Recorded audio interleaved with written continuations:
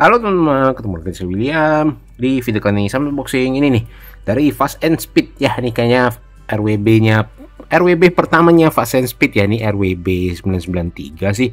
Cuman kalau dilihat dari gini Kayaknya pilar A nya rada tebel ya Nggak kayak si Street Warrior apa Street Weapon. Kayaknya SW lebih bagus sih Untuk RWB 993 nya Tapi ya ya udahlah kita lihat lebih dekat aja yang ini Fast and Speed scale 1 per 64 di atas ya polos merah kosong doang. Di belakang ya Fast and Speed. Di bagian bawah ada logo Fast and Speed juga caution and warning seperti biasa. Dan ini belum ada license sama sekali sama kayak R34 yang sebelum-sebelumnya juga belum license. Tapi yang ini dia dapat spare wheels ya jadi ada velg cadangannya bisa kita ganti. Untuk velg bawaannya kayaknya rada gimana gitu ya kayak enggak banget ya. Ya ini langsung kita bukain aja ya kalau mau dibilang Fast and Speed ini takutnya sih cetakan Time Micro ya soalnya kayak R34 nya juga ya mirip-mirip castingannya Time Micro cuman dia nggak openable doang.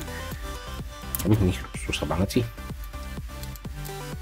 Ya nanti kita lihat deh di sasisnya ya kalau soalnya kalau Time Micro atau Time model biasanya di bagian sasisnya itu masih ada si logonya ya. Jadi kita cek aja nanti.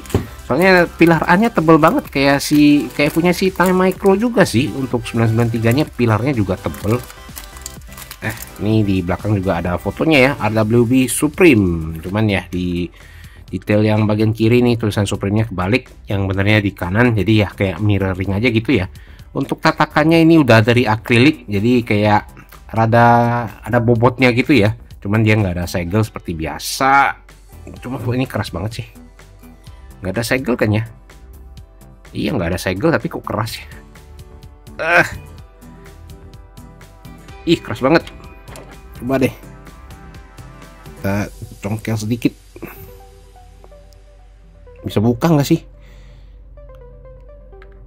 Ah susah banget. Bukain dulu lah nah akhirnya kebuka juga. Keras banget nih. Ini untuk velg cadangannya. Ya modelan yang Facebook ya yang biasa kepasang di RWB yang ini kayaknya lebih cakep ya velgnya. Soalnya kayak detailnya yang nggak perlu seberapa detail jadi ya lebih kelihatannya lebih oke okay aja ya dikasih asnya juga.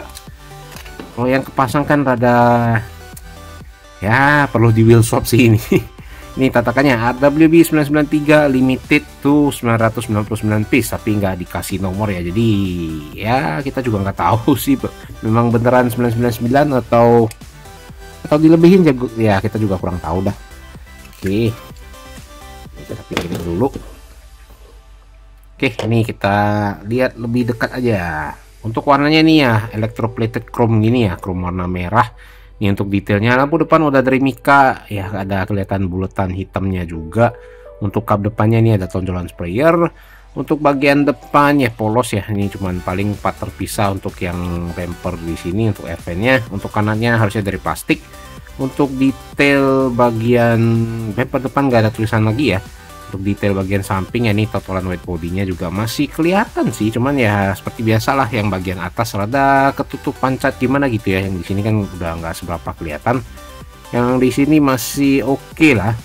Di samping ini ada winglet samping juga nih harusnya dari plastik.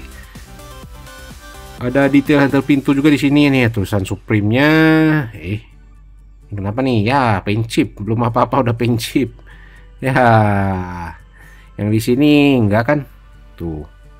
Ya pincip nah sayang aja sih soalnya kalau warna electroplated gini kalau mau di spidolin juga bakal kelihatan sih. Ah ya udah ini untuk detail bagian sampingnya ya seperti begini. Eh. ya senggol deh wipernya copot.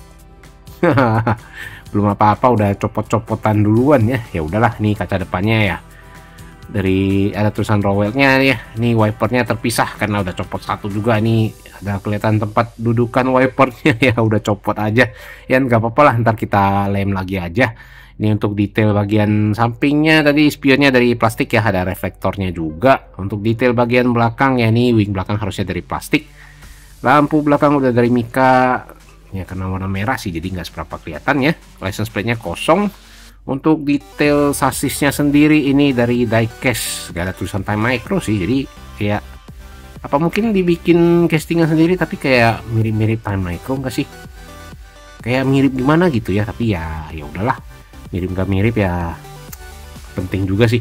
Ini knalpotnya ya dari plastik ya ujungnya ya kayak biasa kayak apa sih pipa besi kecil gini ini ban karet tidak bisa rolling. Untuk ban karetnya ada tulisan idler seperti biasa ya.